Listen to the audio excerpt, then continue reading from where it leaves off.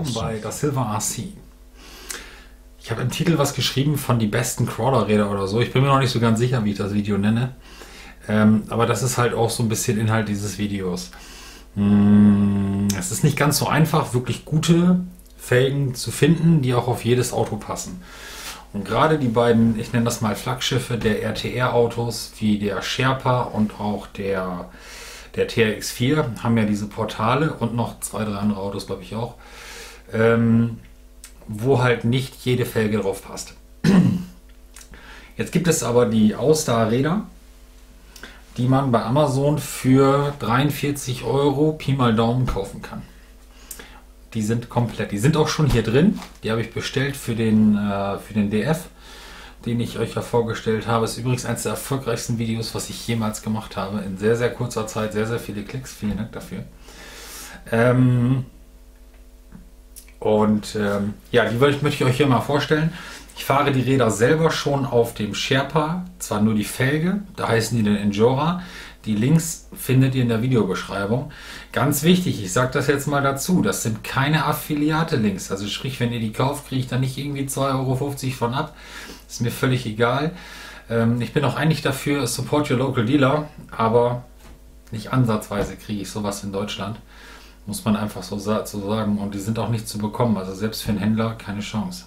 Selbst wenn er wollte, kriegt er die nicht. Für den Preis schon mal gar nicht. Ja, die schauen wir uns jetzt so. Und zwar genau so sind alle drei Satz angekommen, die ich habe. Hier sieht man mal einen anderen. Ähm, den habe ich auch noch. Die Räder, die Reifen sind nicht ganz so gut wie die, die ich euch gleich zeige. Noch besser sind die RC 4WD äh, ich muss jetzt mal gucken. Ich glaube, die hießen Super Swamper. Genau. Super Swamper, die habe ich auf dem Sherpa. Gucken wir uns auch gleich an. Die sind aber teuer. Also da zahlt ihr richtig Geld für dieses Gummi, aber die sind auch richtig, richtig gut. Ja. Allerdings, Low Budget, findet ihr hier richtig, richtig geile Pellen.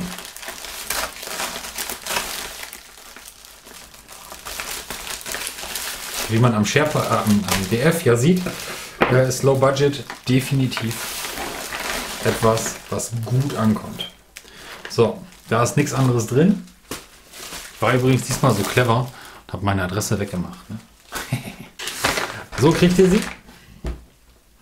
Ähm, Ausdauer Hobby, Original Factory Team Parts. Ja, ich habe sie gekauft, deswegen ist es wirklich kein Werbevideo.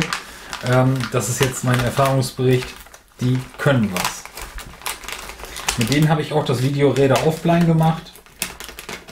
Einfach mal hier auf dem Kanal gucken. Wir holen jetzt einen mal raus. Diese Reifen heißen auch Super Swamper. Die sind auch vom Profil und von der Gummifestigkeit auch ganz okay. Und viele sagen, die sind ein bisschen weich. Ja, okay, die sind sehr weich, aber dafür haben die auch enormen Grip, weil sich natürlich durch, die, durch das weiche Gummi die Auflagefläche, je nachdem wie viel Kilo der Wagen wiegt, ähm, erhöht. Jetzt muss ich mal meinen Schraubenzieher holen. 1,5er Inbus braucht ihr, um diese Reifen zu verschrauben. Ich habe gedacht, die kommen als Bausatz. Kommen sie nicht. Wir haben sechs Schrauben, die müssen wir kurz lösen. Dann nehmen wir den Reifen mal auseinander, um den einmal komplett zeigen zu können. Ihr sollt ja sehen, was ihr da bekommt. Ihr bekommt natürlich für diese knapp über 40 Euro vier davon. So, das Silver Bingo können wir auch wieder spielen. Mick schraubt im Video. Dann kann ich auch gleich auf euch gleich auch noch einen Trick verraten, wie man die vielleicht ein bisschen besser zusammenkriegt, wenn man vielleicht dickere Einlagen verwenden will. Ähm, das funktioniert sehr, sehr gut. Das sind Edelstahlschrauben. Deswegen nutzt ihr bitte gutes Werkzeug, aber das habe ich euch ja schon häufig gesagt. So, alle sechs sind raus. Das ist jetzt kein großer Akt. Ähm, dann drückt ihr die da raus, irgendwie. Dreiteilige Felge.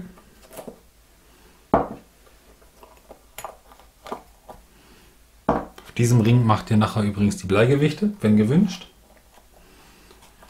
Hole ich die Einlage da mal raus. Ist gar nicht so einfach, weil die ist ganz schön dick und das Loch ist ziemlich klein. Ihr kennt ja, dickes Ding, kleines Loch, blöde Sache.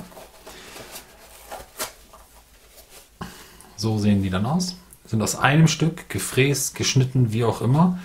Ähm, da ist nirgends so eine Klebestelle dran. Die sind relativ weich. Da muss ich auch jedem recht geben, der das so sagt. Aber die funktionieren halt. Einmal die wirklich schön weichen Gummireifen. Oh, puh, bisschen stinken die auch. bisschen mehr auch. Und ähm, ja, also Einlage wieder rein. Macht ihr so. Drückt ihr die da rein und seht zu, dass die da sauber drin liegt, weil wenn ihr da einen Knick reinmacht, dann läuft der Reifen nachher scheiße. So, jetzt packe ich die anderen dreimal weg. Das ist natürlich bei allen vier das gleiche. Ähm und wir setzen die Felge mal wieder zusammen. Das ist ganz einfach. Damit fangen wir nicht an. Wir setzen erst den Ring da rein und der wiegt wirklich gut was. Ne?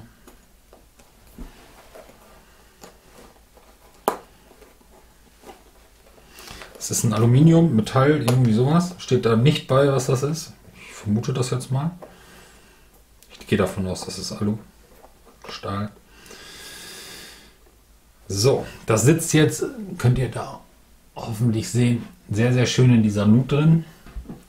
Drückt ihr das Oberteil da drauf.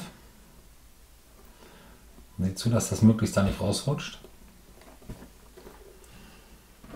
Dann das Unterteil. Das sollte dann so sitzen, dass die, das ist noch wichtig, dass die Löcher von den Schrauben da drauf äh, passen. Ihr müsst hier aufpassen. Schraubt das bitte vorsichtig auf, weil die Gewindegänge sind hier in dem Metall drin. Das hat natürlich den Nachteil, wenn ihr dieses Loch, dieses Gewinde hier kaputt macht, ist die Felge theoretisch kaputt. Ihr könnt aber auch eine längere Schraube nehmen und dann hinten einfach eine Mutter draufsetzen. Das würde auch gehen, sofern euer Auto das zulässt. Äh, zulässt. So, probieren wir jetzt mal da möglichst gerade drauf zu kriegen. Notfalls hilft auch ein bisschen ein Imbusschraubenzieher, womit ihr das versetzen könnt. Das geht sehr, sehr gut. Aber ich glaube, das kriegen wir hier ganz gut hin. Klack, klack.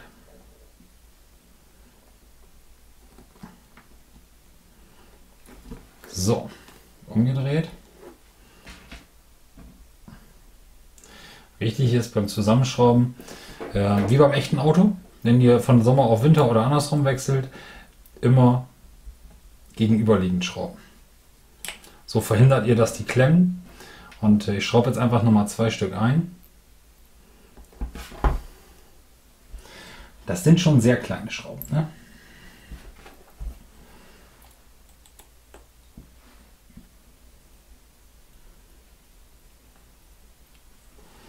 So, warum packt die Schraube jetzt nicht?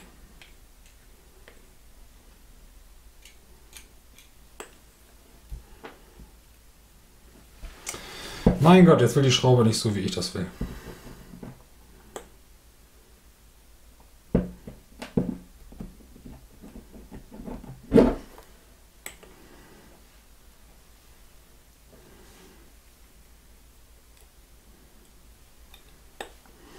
Die will echt nicht. So, dann fällt sie halt raus. Ja, ist natürlich äh, sehr schön. Bei den anderen hat es immer reibungslos funktioniert. Wir müssen jetzt ein bisschen rüberdrücken. Das klappt schon. Es ist manchmal so ein Millimeter, der da fehlt. Ähm, wenn überhaupt. Das ist halt alles sehr passgenau. Jetzt greift sie. Sehr passgenau. Jetzt habe ich auch die andere Schraube genommen. da muss es natürlich passen. Ähm, dann machen wir es halt sternförmig. Das geht auch. Aber ihr solltet halt nicht hingehen und sofort eine Schraube reindrehen und die anknallen. Dann verkantet das, dann kriegt ihr die nicht rein. Das könnt ihr vergessen. So, dritte Schraube ist drin. Dann seht ihr auch immer die Schraube, die am weitesten rausschaut, die dreht ihr dann wieder rein. Ähm, und so geht ihr halt vor, bis ihr den Widerstand merkt. Mit allen sechs.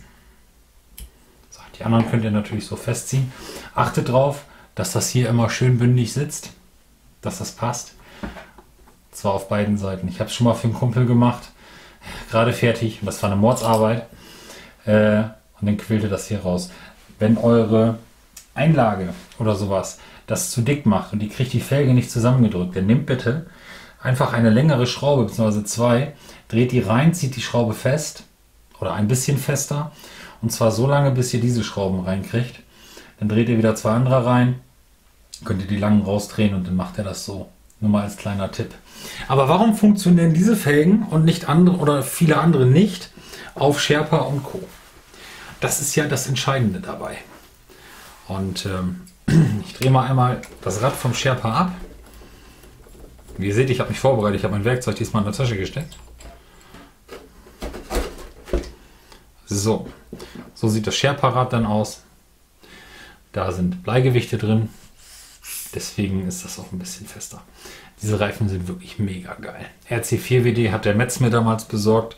Wenn er sie noch im Shop hat, verlinke ich euch die. Wenn nicht, Google hilft. Ähm, die Super Swamper, RC4WD, iRocks, die sind schon mega gut. So, also, dadurch, dass Sherpa und Co. Da kommt natürlich clever jetzt. Dadurch, dass. ich wollte den Radmitnehmer zeigen. Macht das hoch. Ja, seht ihr genauso viel. Der hat ja auch Innenkotflügel. Äh,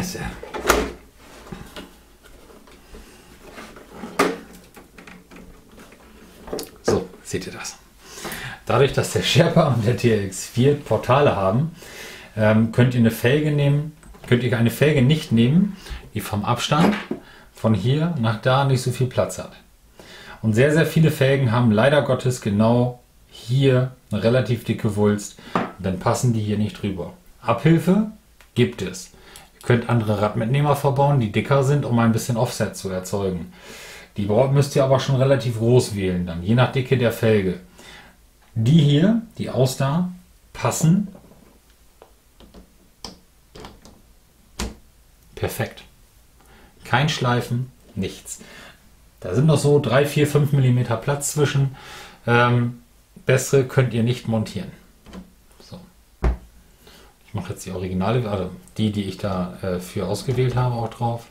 Und ihr könnt im Video auch sehen, dass der wirklich sehr, sehr gut geht.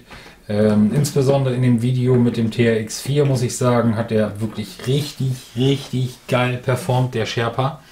Meiner Meinung nach einem äh, TRX4 nichts nachstehend, was die Performance angeht.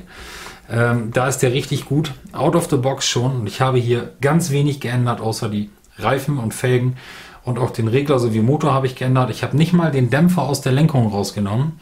Ich habe nicht mal das Servo getauscht und der fährt super geil. Und ich habe auch keinerlei Bedürfnisse, irgendwas dran zu machen, weil der läuft. Man kann natürlich ein bisschen, bisschen Tuning, ein bisschen Optik machen und so weiter, wenn man dann drauf steht. Leute, die mich länger verfolgen, wissen, ist jetzt nicht so ganz meins. Ja gut, das soll das Video gewesen sein. Crawlerräder für 40 Euro, ich denke, so nenne ich das. Ähm, danke fürs Zuschauen. Viel Spaß beim Nachbauen. Bis zum nächsten Mal bei der Silver Sea. Bye bye.